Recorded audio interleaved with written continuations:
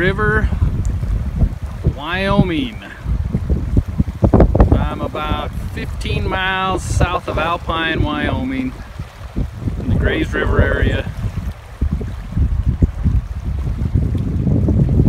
This is my camp spot for the night. Those trailers are empty, nobody else around. There's a group across the road. That's about it. Tent all set up. Should be nice, uh, shady in the morning so I can sleep in a little bit. But absolutely beautiful, right on the water. It's a good ride up through Montpelier and then uh,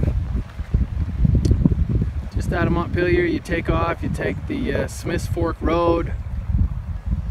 That connects to the, the Greys River Road and that actually takes you all the way into Alpine and I ran in there and got some gas and ice and some beer for the night and then just turned around and rolled back out here and found this spot. It's perfect.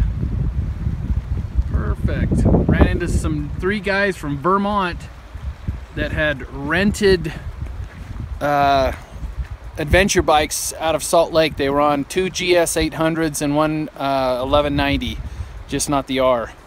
And I ran into them way down on the, the Smiths Fork Road, and they were kind of lost. He, they, I don't know if they didn't figure out they could turn their phone GPS on or whatever, but the map they had, the paper map the guy had, I guess blew out.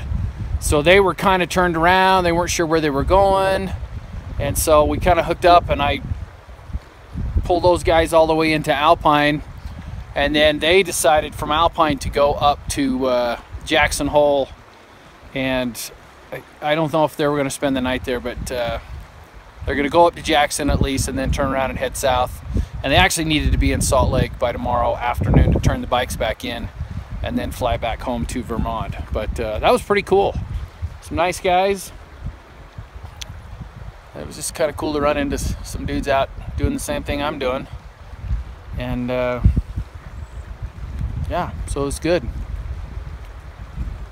So this camp spot is just exactly what I was looking for. Right on the water. And it's even got a sandy beach.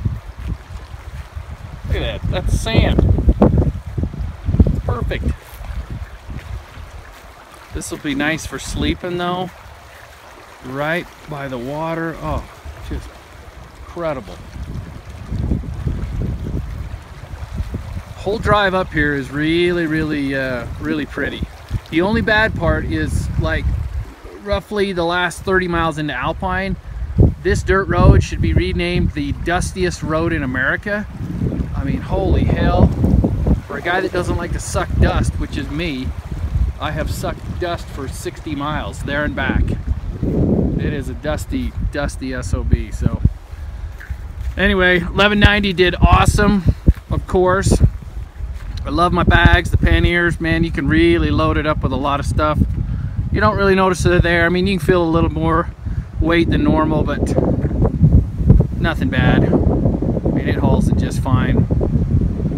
Plenty of room for all my camping gear and all my stuff. And then my cooler in the top, uh, top box is perfect. I got a new soft cooler that holds even more, so perfect. A little bit of firewood left. I got my saw with me, so I'll uh, I'll get a little bit of wood put together and have a little fire and uh, climb over here and get a good night's sleep. Should be awesome. Greys River, south of Alpine, Wyoming.